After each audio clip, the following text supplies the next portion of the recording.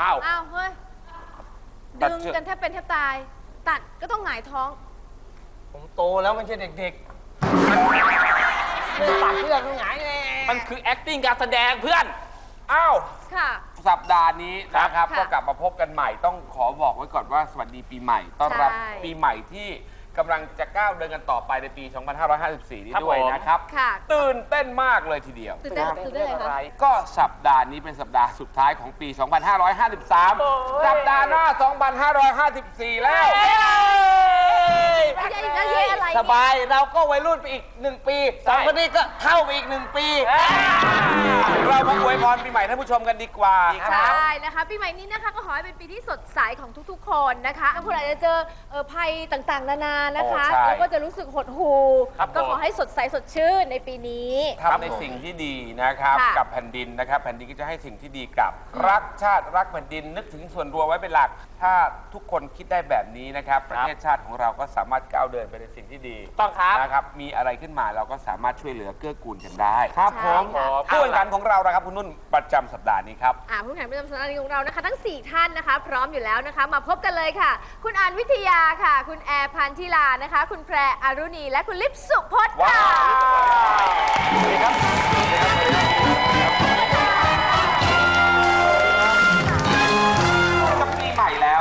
น้องๆอวยพรท่านผู้ชมกันดีกว่าค่ะนะครับเริ่มจากน้องอันเลยครับ ครับผมก็สวัสดีปีใหม่นะครับ ขอให้ทุกคนเนี่ยมีสุขภาพแข็งแรงนะครับร่ำรวยเงินทองนะครับ แล้วก็ช่วงปีใหม่เนี่ย อย่าดื่มหนักนะครับ ก็ขอให้เที่ยวให้สนุกครับ อยากจะให้ทุกคนนะคะมีความสุขมากๆ แล้วก็แอร์เชื่อว่าความสุขเนี่ยนะคะ ของแต่ละคนแตกต่างกัน แต่ว่า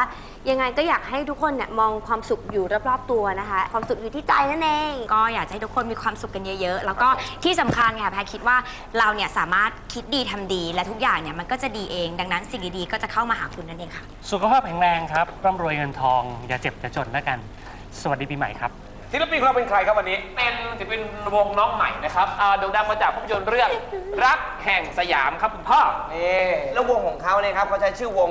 เอ่อเป็นชื่อเดือนภาษาอังกฤษครับ ชื่อวงเป็นเดือนวงออกัส ช่วงหน้ากลับมาพบกับเศรษฐหนุ่มวงออกัสในมาสกีคู่หูคู่เพลงครับบอกอีกครั้งนี้แต่งให้เธอ เธอจะเชื่อไหม นานไม่พร้อมไม่ซึ้งไม่สวยงามเหมือนเพลงทั่วไป อยากให้รู้ว่าเพลงรักถ้าไม่รักก็เขียนไม่ได้ แต่กับเธอคนดีรู้ไหม ฉันเขียนยังไง ได้เธอคงเคยได้ยินเพลงรักมานับร้อยพัน มานับร้อยพัน มันอาจจะโดนใจ แต่ก็มีความหมาย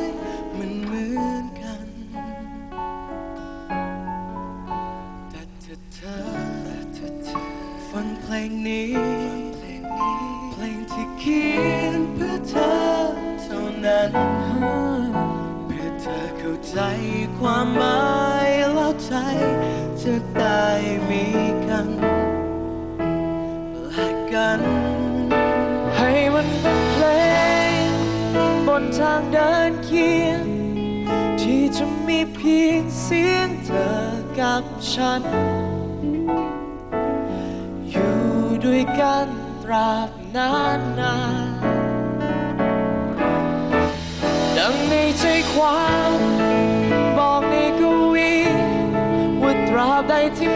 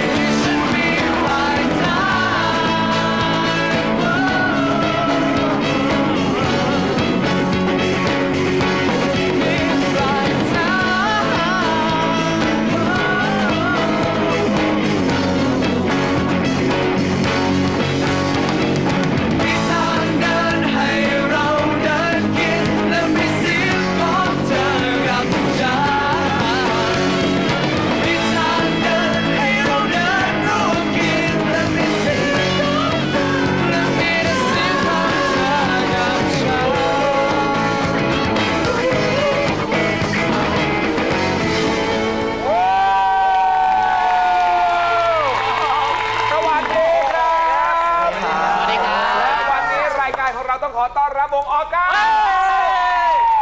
ครับผมยอดเยี่ยมครบเครื่องจริง ๆ 11 ชีวิตมารวมตัวกันได้อย่างไรยกตัวจากภาพยนตร์เรื่องรักแห่งสยามแล้วก็เลยรวมพลกัน ใช่ครับมีงานต่อ ๆ มาเรื่อยๆถูกครับ โอ้โห แล้วทำไมถึงให้ชื่อวงว่าออกัสครับ ก็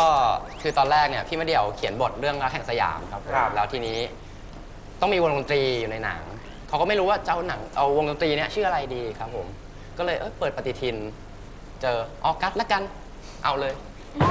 ไม่ได้เกี่ยวกับเดือนสิงหาอะไรอย่างนี้เหรอคะ ไม่มีครับ คิดไม่ออก เพราะฉะนั้นนะครับวันนี้มาเข้าคำถาม เกี่ยวกับน้องๆออกัสกันเลยดีกว่าครับคำถามแรก เพลงกันและกัน ซึ่งเป็นเพลงประกอบภาพยนตร์เรื่องรักแห่งสยามโด่งดังมากครับ จนทำให้วงออกัสได้รับรางวัลศิลปินหน้าใหม่ยอดเยี่ยม อยากทราบว่าได้จากสถาบันใดครับ 1. Channel V Award ครับ หรือ 2 ครับ Seed Award ให้คำตอบครับ เอาละครับ มี 2 หน่วยนะครับที่ตอบว่า Channel V นะครับ อีก 2 หน่วยตอบ Seed Award น้องๆ วงออกัสนะคะได้รับรางวัลอะไรคะ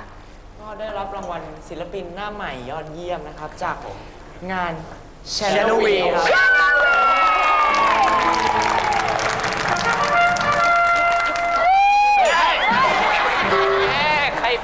เออเดี๋ยวเดี๋ยวเล่าให้ฟังหน่อยรู้สึกไงบ้างพอได้รับรางวัลนี้ ก็ตื่นเต้นครับตอนแรกเพราะว่าไม่คิดว่าจะได้รางวัลครับผมเพราะว่าเอ่อคนอื่นๆที่เขาได้รับเข้าชิงเนี่ยเก่งๆเขาก็เก่งๆทั้งนั้นเลยครับครับผมครับก็คือไม่ได้คาดหวังอะไรไว้เลยตอนนั้น แล้วพอประกาศเป็นชื่อเราแบบไม่ไม่ได้เตรียมอะไรไปพูดเลยแล้วก็ขึ้นไปแบบงงๆตัวเล็กนี่เป็นลมครับ จริงหรือเปล่าเป็นลมเลยเหรอครับคำถามที่2ต่อเลยดีกว่านะครับ น้องพิษครับ นักร้องนำอ่านอกจากจะมีกลุ่มแฟนคลับชาวไทยแล้วนะครับ น้องพิษยังดังไกลไปถึงเมืองนอกอีก อยากทราบว่าน้องพิษมีแฟนคลับ เป็นชาวประเทศอะไรครับ เป็นคนประเทศอะไรนะครับ ระหว่างหนึ่งแฟนคลับชาวมาเลเซียครับ มาเลยเล่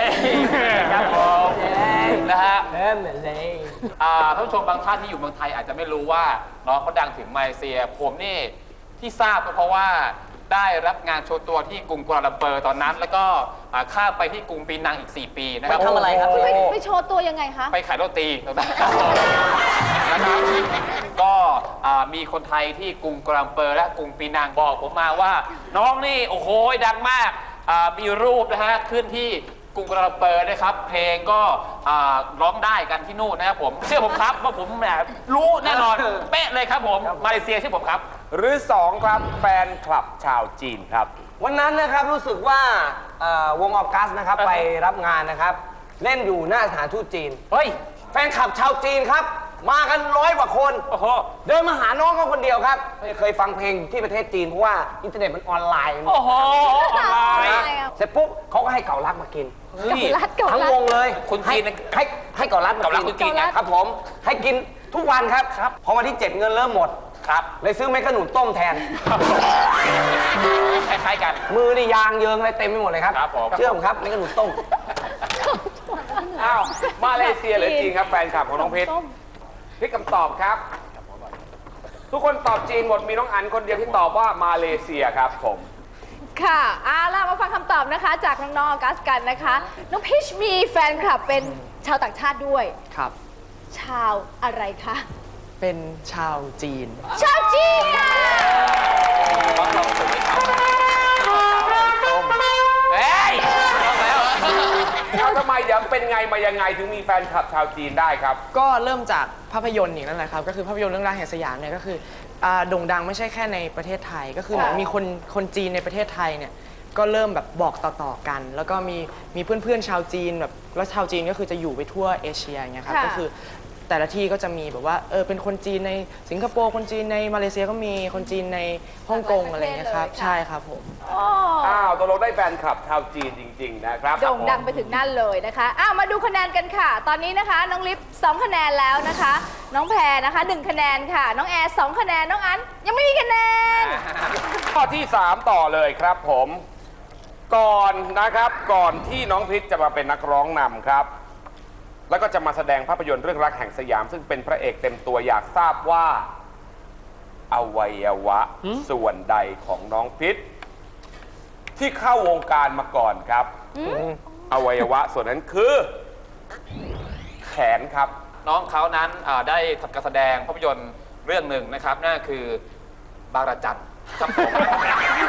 นะฮะบางระจันแล้วเกี่ยวอะไรกับเป็นแขน ฉากที่เอ่อเขาเรียกว่า ปลุกใจชาวบ้านบางระจันครับ ทุกคนหยิบดาบมือน้องครับค่อยๆมา เลื้อยมา หยิบดาบแล้วไปเลยครับผมนั่นคือมือน้อง หรือ2ครับ หูอ่า อ่า ต้องเป็นหูอย่างแน่นอนนะครับผม หูนะครับผมอ่าตอนนั้นนะครับในช่วงปีที่ผ่านมา มีน้ำยาล้างหูตัวใหม่นะครับเฮ้ย อ่าน้องก็ได้ถ่ายเป็นพรีเซนเตอร์ครับ หู หูครับถ่ายเฉพาะแค่หูแค่นี้นิดเดียวเพราะน้องก็หูสวยครับ หูสวย หลังจากนั้น คนจำได้ครับไปเดินที่สยามเป็นไงเสร็จปุ๊บเด็กนักเรียนกรูเข้ามาจำหูได้ได้จำหูได้ถ่ายรูปคู่หูน้องเขาครับผมเชื่อผมครับหูเป็นดาราใช่หูดาราอ้าวระหว่างแขนกับหูครับพลิกคำตอบครับ ลิฟกับแอร์ตอบว่าหูแพรกับอันตอบแขนอ่าน้องพีทเคยเป็นพรีเซนเตอร์หรือว่างานชิ้นแรกในชีวิตใช่ไหมคะ คือใช้อวัยวะส่วนไหนคะ ใช้แขนครับ แขน ยังไงครับแขนนี่ไปทำอะไรครับ ตอนนั้นเนี่ยอ่าพี่มาเดี่ยวกำลังอ่ากำกับภาพยนตร์เรื่อง 13 เกมสยอง นั่นไง ซึ่ง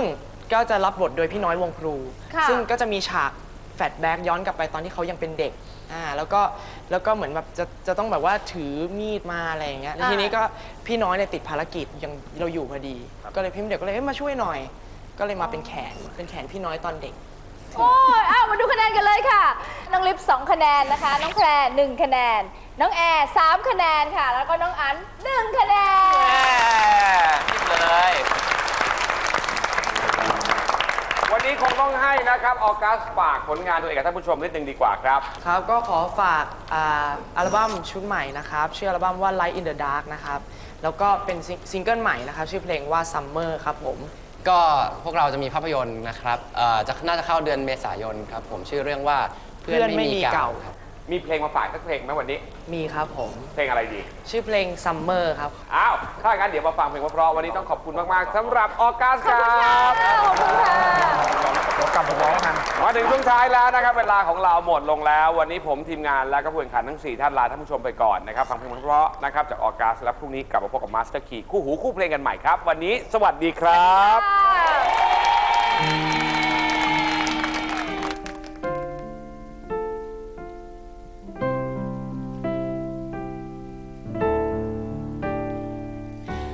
ฤดูกาลจะเปลี่ยนแปลงไป แต่ใจฉันยังจำได้แค่ในฤดูร้อนก่อน เสียงเพลงบนหาดทราย ได้ยินแล้วมันเตือนใจให้อะไรอาวรณ์หา ให้คิดถึงวันเก่าที่ผ่าน มันใหม่ได้ผ่านมา ฉันคิดถึงเธอมากเธอรู้ไหม ไม่เคยเปลี่ยนแปลงไปเหมือนเวลา มีเธอกับฉัน ในเพลงเต้นรำที่เราสนุก ในความวุ่นวายได้ไม่มีความทุกข์ มีเพียงแสงไฟในสองให้สอง เราดูวันนี้ความรักเลื่อนไปตามเรื่องราจังหวะของเราเริ่มไม่เข้ากันบกมือบายบายแล้วหาเพลงใหม่ให้เต้นกันต่อไปฉันเพลงเพลงเก่าอาจไม่เท่ไม่ทันสมัยทุก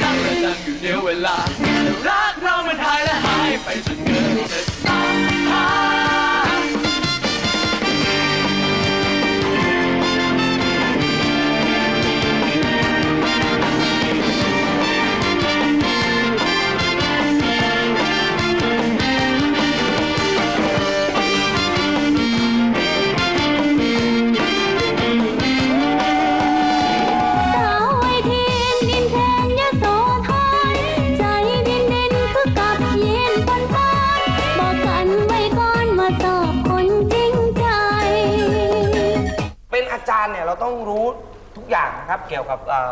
เรื่องวิชาของนักเรียน กล่องนี้เขาเรียกอะไรครับ box ค่ะ ออก accent ไม่ถูกครับดูเด็กผมครับ กล่องบล็อก